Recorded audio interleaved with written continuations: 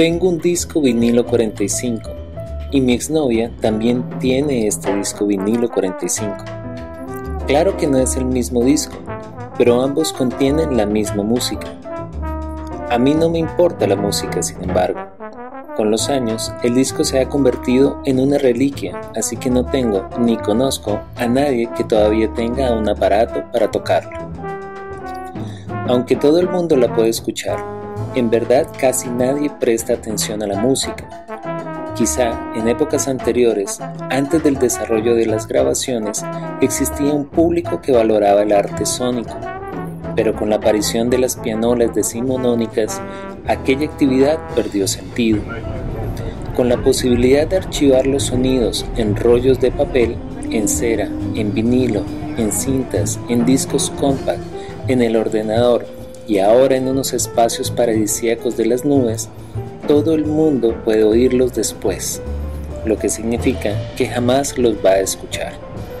La música actual solo sirve en el fondo, como una banda sonora mientras que caminamos, cocinamos, follamos o platicamos. Así es, y el disco que hoy conservo lleva memorias en vez de música. Sí, hay muchas memorias, tanto las buenas como las malas y mirándolo puedo recuperar en mi cerebro la canción mezclada con escenas de mi vida anterior. Aunque hace décadas que no nos hemos visto, sé seguro que mi exnovia todavía guarda el disco porque es ella la jeva que canta en la grabación.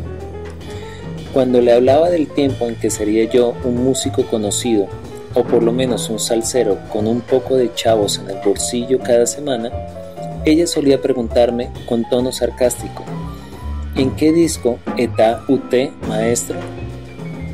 Entonces yo le admitía, en ninguno, pero un día sí estaré en muchos, incluso en algunos discos de oro o de platino. Tenía que admitir también a mí mismo, si no a ella, que era una cantante con el don de la música. En el disco que todavía tengo y que ella también tiene, se puede oír suponiendo que tuvieron tocadiscos y el adaptador para el hoyo grande de los discos de 45 revoluciones, su voz poderosa, su empleo de los microtonos convenientes con la melodía africanizada y su juego del tiempo a piacere encima del ritmo uniformado de los tambores, el guiro y los otros instrumentos de percusión de la plena. Para mí es todo un artista, aunque sé que su estilo no sirve para muchos espectadores fuera del borinquén. A los mayores, la plena criolla en voz de una jíbara suena bien chévere, pero no es un gusto mundial. A pesar de su capacidad de captar al público, mostraba poco interés en la farándula. Al contrario que yo, que, sin sus habilidades musicales, añoraba el éxito. Vivíamos en el barrio, donde la música sonaba día y noche en los clubes, las bodegas, las viviendas viejas, los proyectos nuevos y los boomboxes llevados por los adolescentes. En Nueva York, como en otras ciudades, hay muchos barrios y todos, desde luego, llevan un nombre, pero el barrio era único, un vecindario de puertorriqueños con sus ilusiones de volver a la isla del encanto y sus hijos, los nuyoriqueños, que jamás habían oído las notas dulces del coquín. Ella cantaba plenas y yo tocaba salsa, mundos distintos. Mis moninas no querían tener nada que ver con las plenas y bombas de sus abuelitas. Les daba vergüenza la idea de un retorno atrás a los estilos tanjíbaros y los recién llegados no entendían las mezclas de rumba, rock y jazz que formaban las composiciones salseras.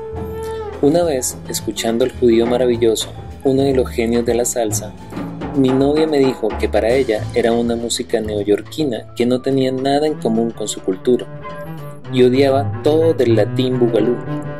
No quería escuchar nada de esta música de ampa de los morenos, cocolos asquerosos, me dijo.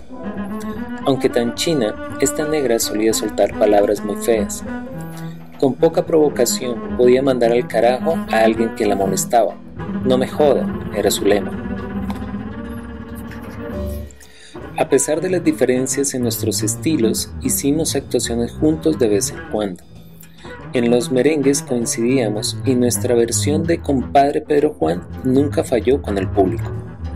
En el ámbito de la folclórica, yo tocaba la guitarra cuando ella cantaba Lamento Borincano, una obra de Rafael Hernández que canto muy a menudo hasta hoy en día.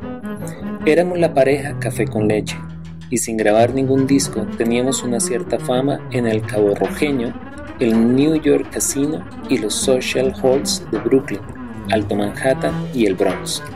Y ella, siempre que bailaba y cantaba, los espectadores la adoraban. Ella no le cayó bien a mi padre, sin embargo. A él no le gustaban para nada las canciones de mi novia y menos aún nuestra relación.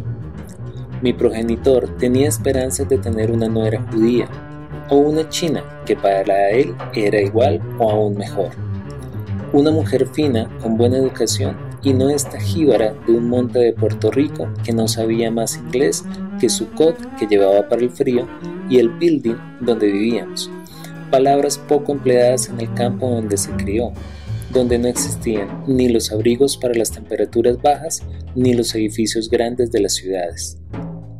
A su madre, en cambio, nuestra pareja le parecía estupenda, no por mis cualidades personales, en verdad no le caí bien, sino precisamente por ser hijo de un judío, digno para compartir riquezas con la tribu y una madre gallega, como llaman en América todo lo español, otro grupo de inmigrantes con fama de invertir bien. Paranoico, como todos los que llevamos la sangre mezclada, Notaba la avaricia de la madre y sospechaba que la hija, aunque me quisiera, guardaba las mismas esperanzas. Para no caer en tópicos, insisto en que me parecía ridículo. Aparte de mi lucha para vivir del trombón, desciendo de una rama paterna de fracasos. Mi abuelo fue encarcelado por robar y perdió la casa familiar, y de adolescente yo había vivido en un sótano con mi padre tenemos una habilidad sobresaliente para evitar la victoria. A la postre, ella había de conseguirlo. De hurtadillas salió con otro judío, 100% de la tribu con la madre hebrea según las reglas elágicas, y pasados cuatro años nos separamos.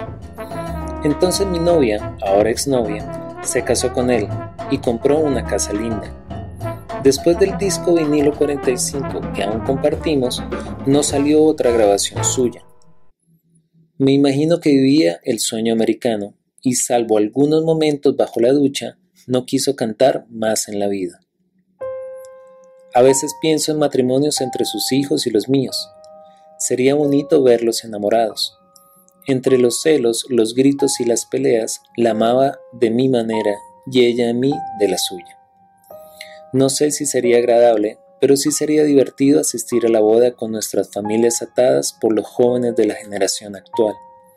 Y no descarto la idea de que sus hijos, quienes han tenido una crianza más rica que los míos, debían otorgarnos la posibilidad de una vida lujosa.